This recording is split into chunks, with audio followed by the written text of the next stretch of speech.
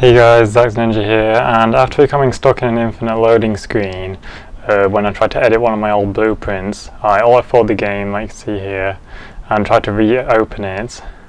But once I did that, I came across this error message, which is quite frustrating, as every single time I tried to reopen the game after pressing OK, it would just keep saying no applicable uh, is found. So as you can see, I keep trying it and it's just not working. And it kept giving this error message every time I tried.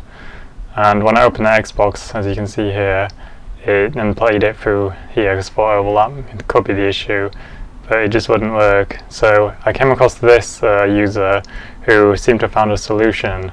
So if you spam click the game like this it just works. Like I can't really explain why but I just came across this and found it to be useful.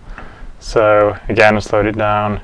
If you just spam click the game, like after everything pops up, just keep clicking the game and it'll just open, a couple messages will pop up and it'll just be fine. So uh, yeah, that's pretty much what I wanted to record. If any of you have had any of these issues, then this might fix it for you. Uh, if it has fixed it for you, then uh, a like would be appreciated and thank you for watching.